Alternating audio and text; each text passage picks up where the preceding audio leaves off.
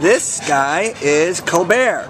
Colbert's ID number is A47-736-94. Colbert is a three-year-old Havanese mix who came into the Baldwin Park shelter from the La Puente area on November 5th and he is just an amazing little guy. Um, he's got so much personality and he's so interested in everything. He shows signs of being housebroken. Uh, we think this guy might have been somebody's pet who just got out and got away and he's uh, stranded here at the shelter. He is friendly with other dogs. He has a kennel mate he did really well with and um, he seems to get along super well with people. He's really eager to meet new friends. Um, he came right up to our uh, volunteer who got him out of the kennel, so he's definitely eager to meet new people.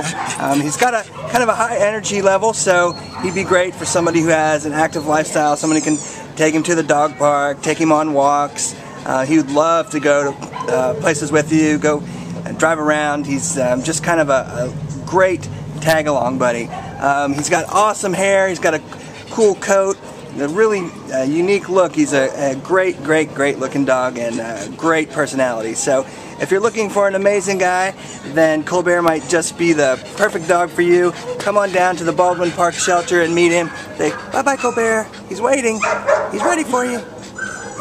What a cutie pie.